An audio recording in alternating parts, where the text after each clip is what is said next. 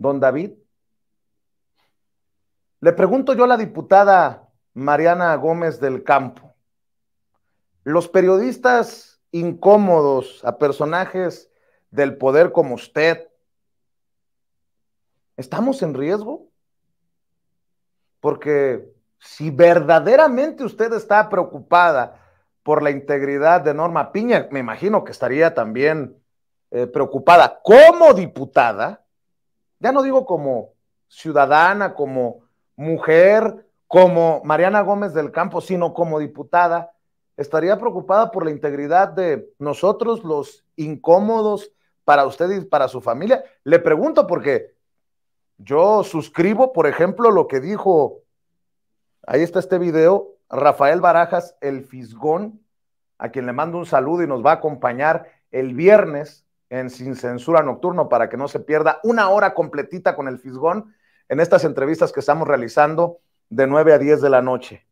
Rafa Barajas, el Fisgón, uno de los mejores eh, moneros, caricaturistas políticos de México, dice que el, cabeza hueca, el cabeza hueca de Fox se sirvió con la cuchara grande y que Martita Sagún, como ya nos lo ha dicho en diferentes ocasiones el maestro Paco Cruz, lo convirtió en un títere.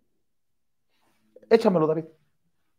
Yo quiero decirles que durante décadas Pemex fue una empresa estable porque durante mucho tiempo le sacaban un peso y le metían un peso.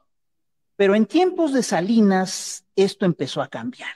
Y en tiempos de Salinas, por cada peso que le metían a petróleos mexicanos, le sacaban cinco pesos.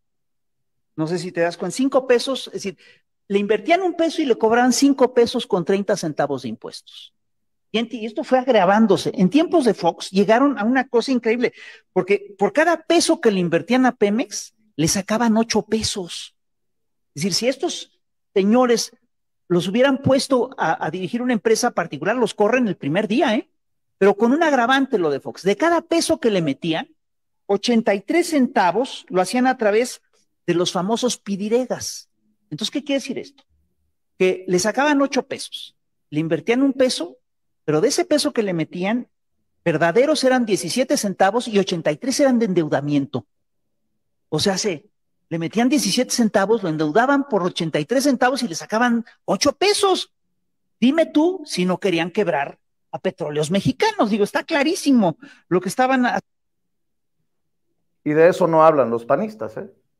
De eso no hablan. Por eso me pregunto si usted que nos está viendo y escuchando percibe la hipocresía de todos estos personajes como Mariana Gómez del Campo, solo por tomar como ejemplo esto que decía el Fisgón y las declaraciones de la diputada federal del PAN.